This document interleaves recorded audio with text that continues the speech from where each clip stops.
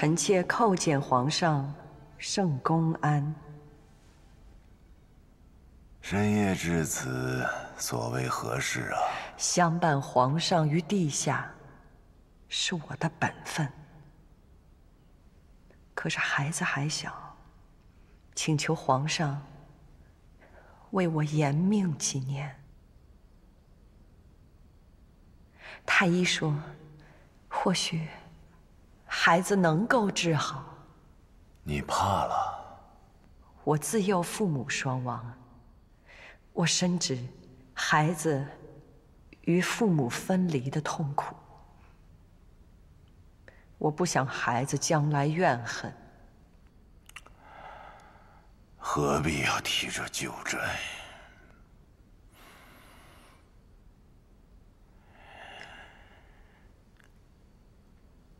就让这横逆灾祸都加在我一个人身上，不要祸及后人了。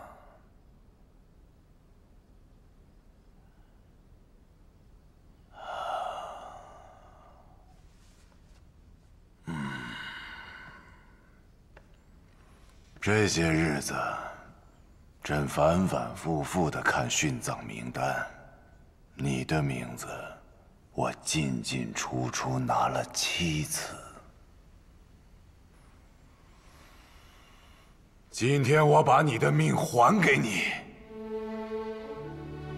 但你要发誓让我安心。臣妾自知这条命是皇帝所赐，若儿子为帝，我必当尽心辅佐。至死而已。若儿子早亡，那是我命中注定，我必当追随皇帝于地下。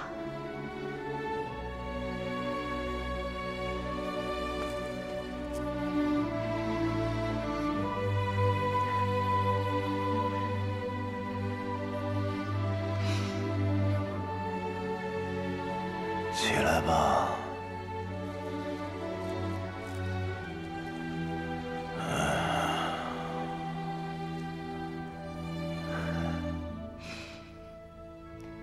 我小的时候想当个画师，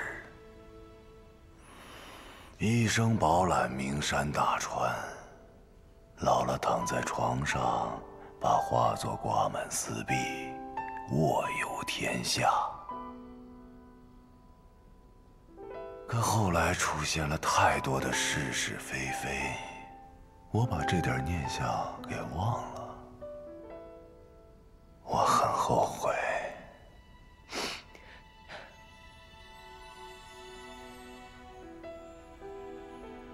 我们的儿子长大了，愿意当皇帝就当，不愿意也可。让他按自己的意愿过这一生，才是真正的得意快哉。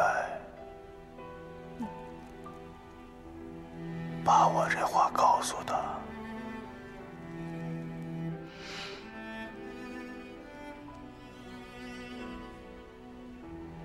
皇上，我扶你回寝宫。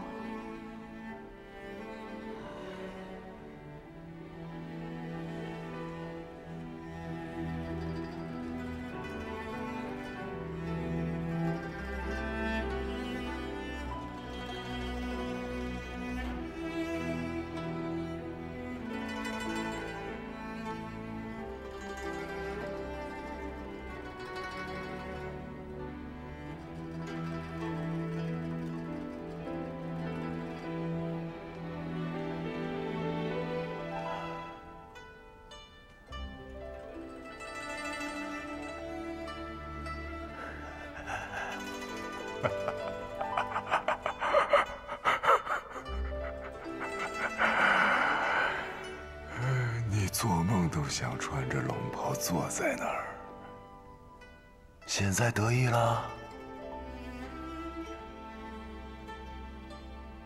我不怕你了，我和我自己。讲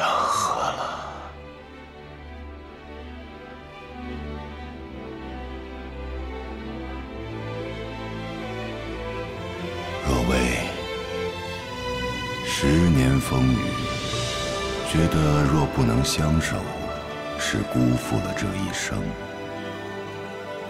我不能忍受去一个没有你的世界，故而想把你带到地下。可让你和儿子分开，又生怨恨，所以我把手松开，把世界还给你。